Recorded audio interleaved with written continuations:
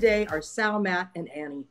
All three are seniors in high school, and they're pretty impacted by what's going on right now with COVID 19 and, and the cancellation of school for the rest of the year here in Oregon and, and many other places across the country.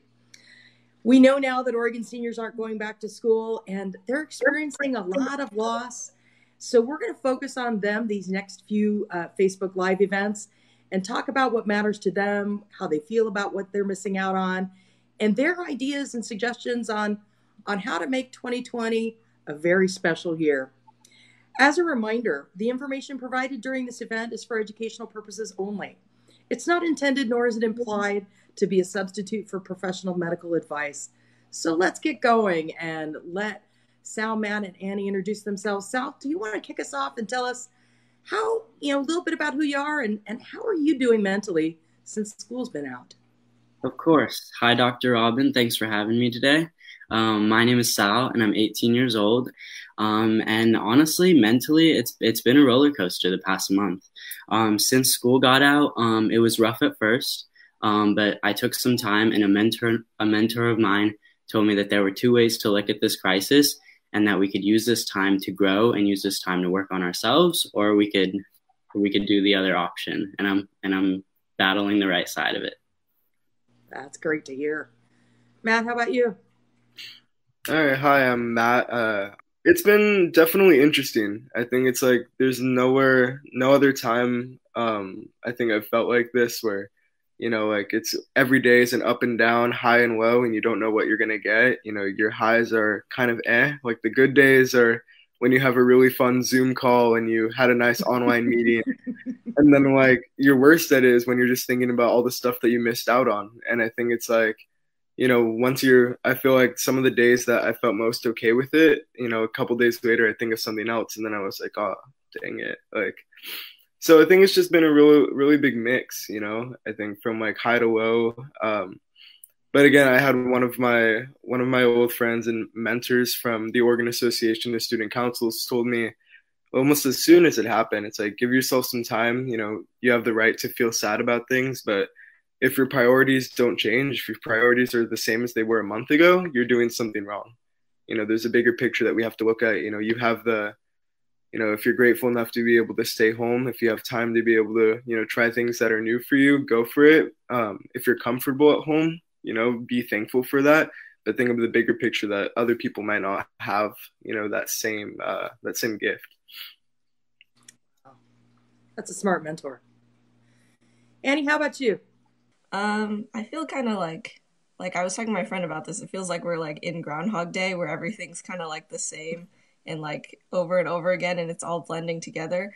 But I guess like it's kind of been like a good time to realize like what I'm grateful for and how I'm going to take care of the people around me and how other people are going to support me. And I think like it's a really weird time, but at least we're all experiencing it together. Like none of us are really alone in how we're feeling, which is like a nice thing to think about when we are having like those bad days where we're thinking about what we're missing out on.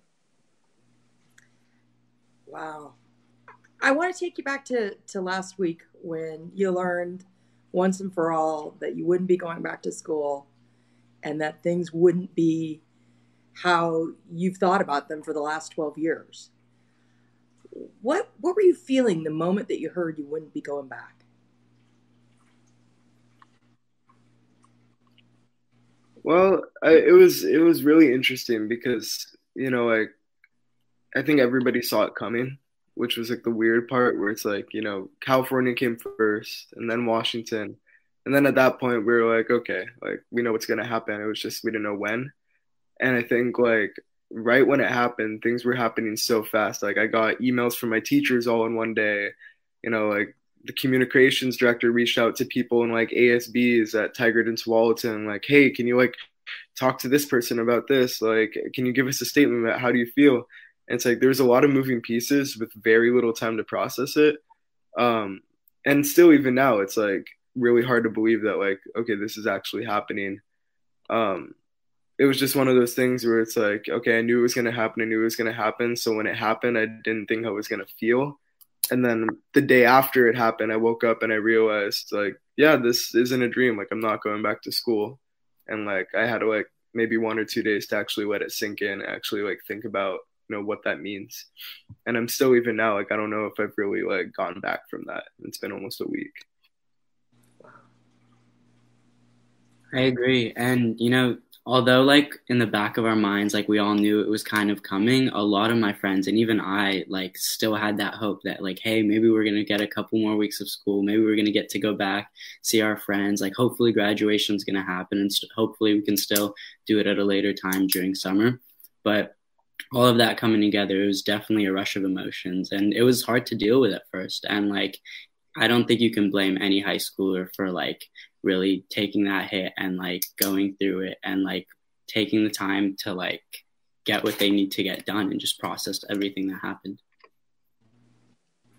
Yeah, I definitely agree. It didn't feel real. Like there were a lot of people making jokes about it, like, "Oh, we're gonna have our prom online or whatever," and then it actually like became a reality, and it was like really weird to kind of get that news and accept it. Like my school didn't say anything to us until like a couple days later, so we all kind of just heard about it from each other, the news. Wow. So it was like it was just really strange. And like I went to school like that day, like just by myself. I just drove to school and like I kind of just sat in the empty parking lot in my old parking spot, and it was like it was really weird to think like that was all our last days of school and we didn't even know it like we we just left school and we didn't know that that was like our last time ever going to high school again and it was like I don't know. I still feel like I'm kind of in denial about it. Like I'm still like, oh, maybe we'll go back. I don't know. Yeah, I was thinking about that. Like, you know, like the last day of school, like what I spent my time doing on the last day of school. like, did I really just spend my last day of school like doing that? Like, I like, you know, it was it was a really interesting day because we had planned. Uh, I'm part of the student union at Tigard and Tualatin High School, and we planned this really like uh really interesting day that we are gonna do. It's called the Unity Day. It was yeah. really it was super interesting. We were gonna like take out an entire instructional day and we are just gonna focus on like student workshops, student speakers, all focused around like hate speech because there was a problem uh, for the last few years in our district. Um, and nothing was being done about it. So we were like, we're going to take a whole day and we're going to make it like one big conference for students. It's not going to be school. It's going to be like all student focused, all student led and it was uh, we were gonna start it at Tigard, and then a month later we are gonna do it at Tualatin. And uh, I was at Tigard High School. I, I, go to Tualatin, but I was at Tigard High School when it was happening. And we got 15 minutes into it before over the speakers they said it's canceled. We can't do it. Like it's canceled. Go back to class. You know, students didn't even bring their backpacks or anything. Teachers prepared for months without having that as an instructional day. In a matter of minutes, it was all canceled, and they were told to go back to class because they said no assemblies. And some of the work some of the workshops were going to have like 500 plus students in them. And so you know we had like people at the school that were watching it from outside community members and uh, all of a sudden it was just canceled. And so like i skip i had to skip my first period which was like one of my favorite classes and then i go back to the school and then the whole school it just feels like a fever dream because we spent like the last four months planning this and it wasn't happening. And then it was just like all one day of kind of just messing around everything's lighthearted and then that was like my last day of school. And i was like did i really spend it like that? Like i don't know. Yeah we had a fake graduation as a joke. We were like we're not going to graduate so let's do graduation on our last day. And now it might be real. So it was like it was like really weird one one especially reoccurring theme that I've heard around my school um, and it's interesting because Mountainside um, is a brand new school, so our class would have been the first senior class to graduate. So a lot of students were, you know, like going through the fact that like we kind of built up when we were seniors, sort of for the last three years, and like finally, right as we're about to finish, hit the finish line, they were like, "Oh well, like we did all this for nothing." And like I really just want to push push the fact that like no, like all of your work is still valid. You still worked really hard the past four years, and you still deserve a graduation and a diploma. And even though that might not come to fruition, like you've grown so much over the past few years, and that's going to stay with you and follow you into your future. That's a really, really important point, and and it brings me to my next question: graduation in and of itself. How are your schools handling your credits? I mean, do you know? Are you going to graduate? Are there are there still things you have to do? My school, they just said if you were if you were passing your classes, so D or above, uh, by March 13th, then you are good. So for seniors, this is only for seniors, but if you were passing your classes by March 13th, or if like in the meantime between March 13th and now, like teachers put in grades, um, and you have like everything's higher than a D, then you get a pass on your transcript and you just get your credits handed to you. Um, for everybody else, they're doing distance learning. Um, and it's kind of confusing because some teachers, senior teachers, are still going to do classes. Mm-hmm. But like it doesn't matter. They just kind of they said it's like we want something to do and we want to keep your brains busy. So you better come to these Google Hangouts. um, but uh, yeah, that's that's how they're working it in terms of like your grad status at Tualatin.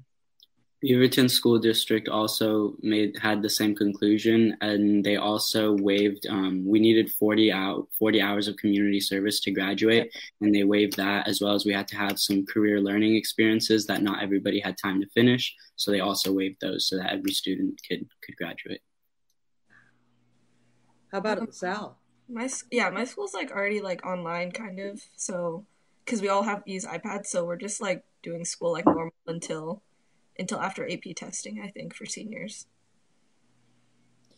Will this any of this impact your your college acceptance, your college decisions? Um, are colleges accepting passes as valid? I believe Oregon school. I know for that Oregon schools are waiving this past semester for students' transcripts as like a like they're like trying to be like helpful for students. Um, and I think California did something similar with the UC schools. But like in terms of like going to college, like before school was canceled, I already committed to university, so we're good. Where are you going? I'm going to UC Berkeley next year. Nice. Sal, how about you? Does this impact your college? Um, I got all of my acceptances right at the start of spring, or um, actually, right. A lot of them were right after um, the stay in shelter or uh, stay in order, and like after school had been canceled. So I'm I, I haven't heard much about about whether like they're going to accept it or not but since this is a global issue and a nationwide issue i'm assuming a lot of colleges um, will waive the last semester or at least accept passing grades um, as well as I, I also received a couple letters from colleges saying hey we're dedicated to starting on time we're gonna we're gonna take this on a day by day week by week basis um, but like our commitment is first to our students and we're gonna do everything we can to make sure that you guys can step in on the first day of school have you decided where you're going? Yeah, I'm going to the University of San Francisco, and I'm really excited. That's super cool. Annie, how about you? Um, I'm going to Seattle U. Um, I know like a lot of people like we're planning on visiting colleges during like spring break and stuff, and I've talked to a lot of people and like they aren't really sure where they're going yet because like that was gonna kind of make the decision for them, and I think like that's like another thing that sucks too because I know like it sucks to like lose our senior year, but it also sucks to feel like unsure about next year too. Right. Oh yeah, that's that's so true. So when you think about your senior year and all of the milestones that are supposed to happen, and, and this is just one of them, you know, what's going to happen for you for college. What are the milestones that that you're really missing right now for you?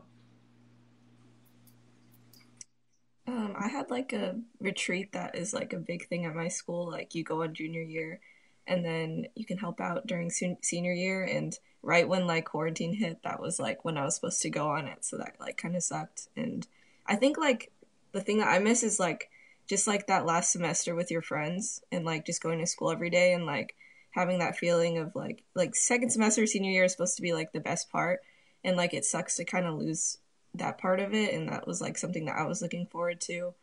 Um, yeah. I agree with that. Um, as well as like student leadership, student government has been a really big part of my life over the past few years. And something I was really excited for was like sitting on the other side of the interviewing table and being able to pass on the torch to the younger grades. Um, and as confident as I am, they're going to step up and do a great job. Um, it is kind of sad that like we're going to miss out on getting to pass the torch onto them. Oh, that's uh, that. Those are actually what. What about things like spring sports, or are you sports again, were you involved in sports? Are you missing out on those? I am not personally athletically gifted. Um, however, um, I was talking to a lot of my friends, um, and it is really something difficult for them if they were doing a spring sport, especially um, a fellow friend of mine.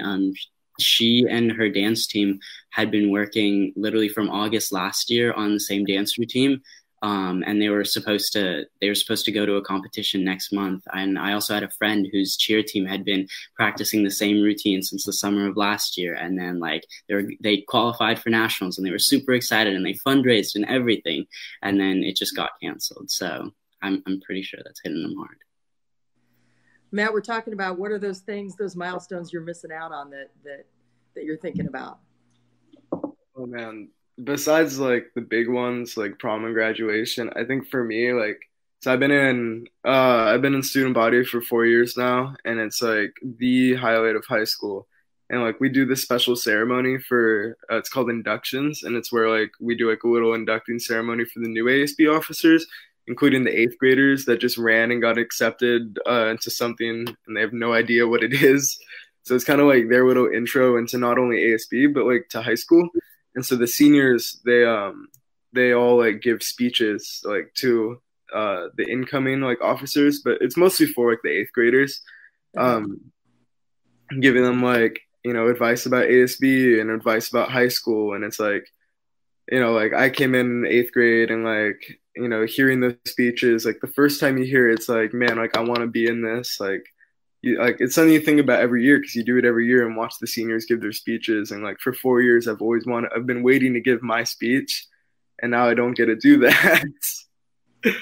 And so i don't know we're going to try to find a way to still have an inducting ceremony. I don't know when it's going to be or how we're going to do it whether it's online or not but you know like i think all the seniors feel the same way that we want to write our letters and like do that kind of thing yeah that's got to be that's got to be rough I think that sounds like a worthy Zoom call, though. Yeah, yeah. I, I, I actually, and that's one of the things that you know when you think about these milestone events, how are you starting to think about how you pivot those to something that can still be meaningful to you? I mean, I see people.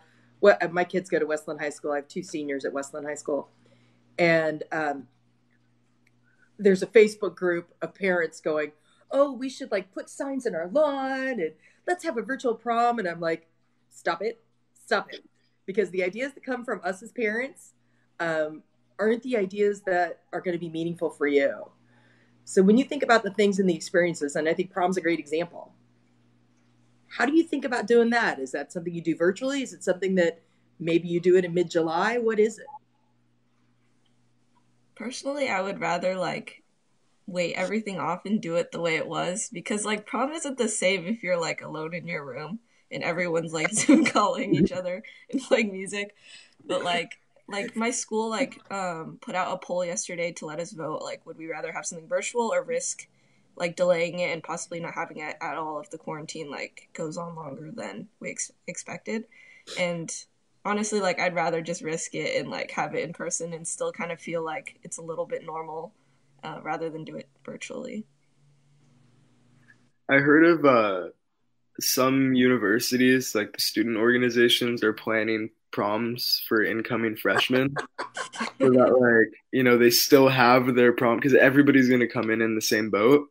You know, seniors that missed out on it, and so like they're talking about doing something like that, which I love. Like honestly, like I would almost take that over like a senior prom with my class like a year from now.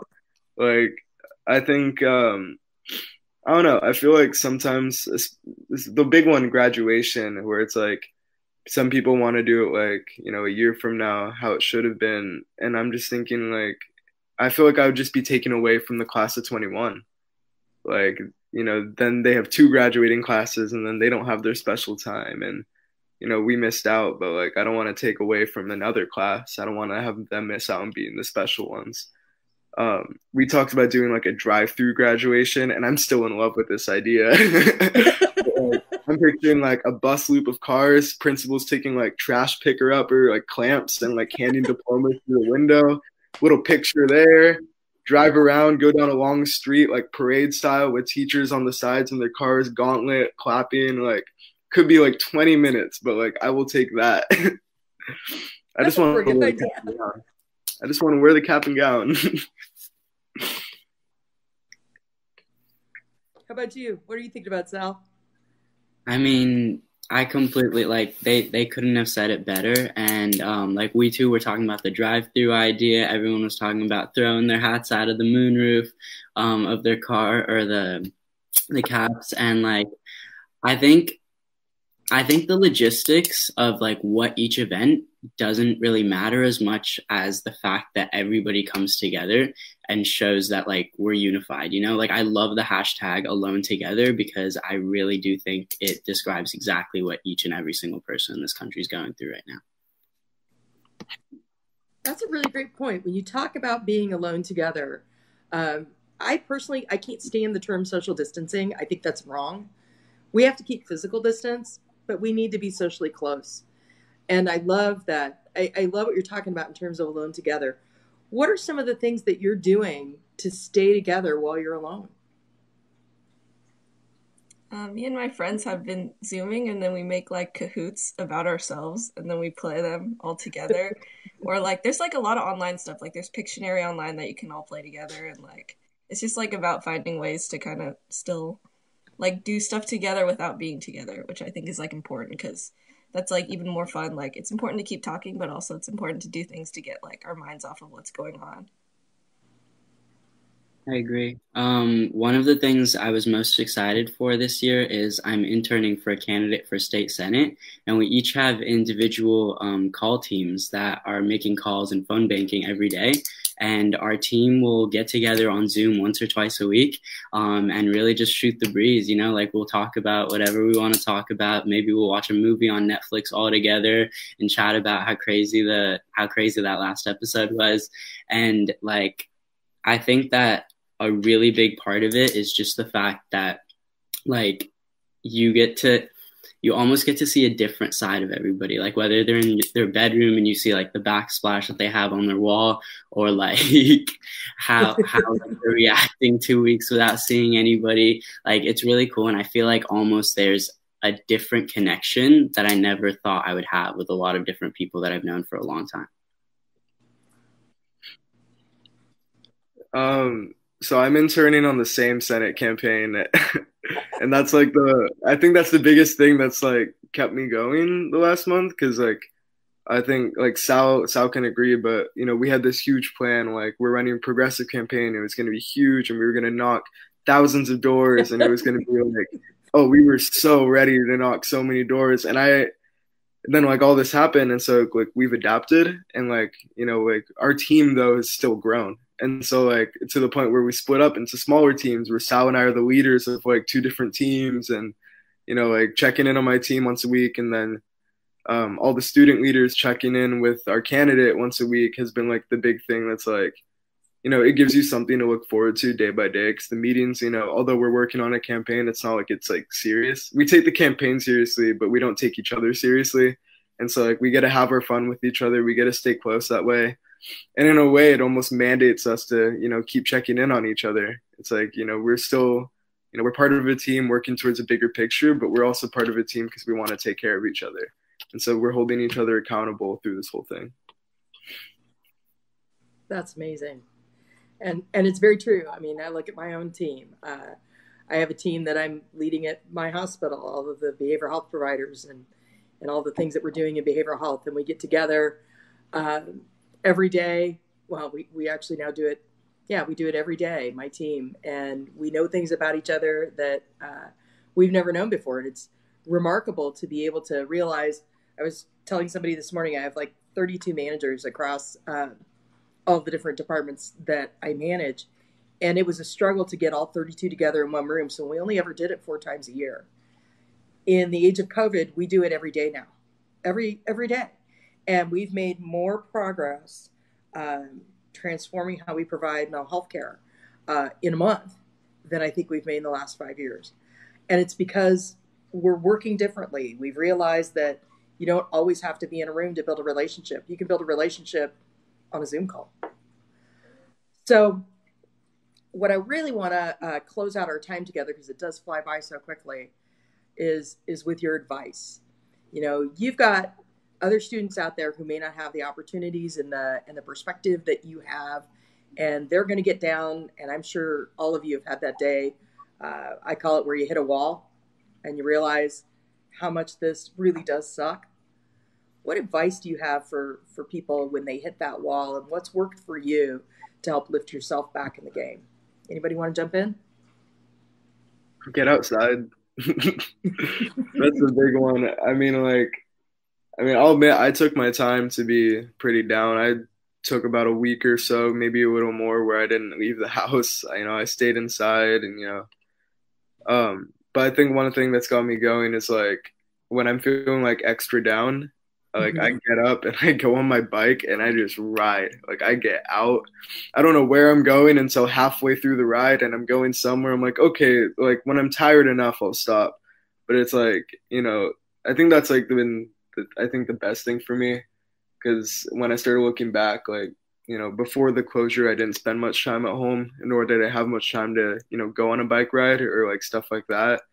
Like I was pretty involved in my school, and even though I was only having five classes this you know semester, I was still waking up early to go to school, and the one that was leaving late, and I was still going to the district office, and I was still going to this and that, and spending like very little time.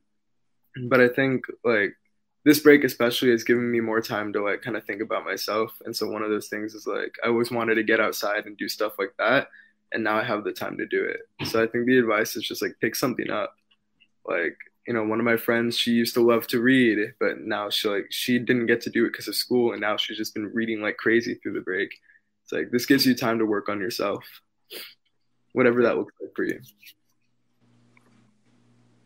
You know, I'm I'm a big fan of stoicism, and uh, the primary the the primary tenet is we can't really control we can't really control the environment around us what happens around us around us and the situations that we're going to be in but we can control how we're going to react. And basically t- just like matt said take the time you need like honestly like we're mourning the end of our senior year and like you are perfectly valid to do that take all the time you need to just get to a place where you've accepted what happens and then like even if none of this happened, the end of senior year is a time where you're reborn. So take this time to like realize what you want to re- be reborn into. And like one very specific piece of advice that I would give is create a schedule, create a structure for yourself. Because without school and without like the original structure that we've been following forever, you can kind of lose yourself and lose track of time. So if you just give yourself like an outline for what you're going to do every day, I think that's that's a step in the right direction.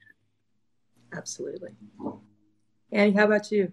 Yeah, I mean, you guys are like totally right and like on the nose about like what we should be doing. And that's like, I totally agree with that. Like, I think like a really important thing is like, it might feel like this time has been like taken away from you, but like you can take it back by like doing things and like starting projects and trying to figure out like what you can do to make this time yours and just like take care of each other. And it's okay to let someone else do something for you and like it's okay to open up and feel sad about it even if like there's a lot of crazy stuff happening that seems bigger than what we're dealing with it's still valid to kind of feel really down about what you lost and you know yeah just take care of each other well annie matt and sal i want to thank you so much for joining me today on talk to be well and to everybody for listening and sending in your questions i know we didn't get to to many of those today but that's okay because we're going to be back again next week with three more seniors who are going to talk about their experiences and how they're coping. If you're looking for help with processing anxiety, depression, and coping during these very difficult times, please visit it visit us at providence.org. We also have our website with new resources for teen mental health aimed at helping students, teachers, and parents. Please check us out at work to be well. That's work the number two be well.org. I'm Robin Henderson, Doc Rob, uh, with Talk to Be Well. Thank you again, and we'll see you next week.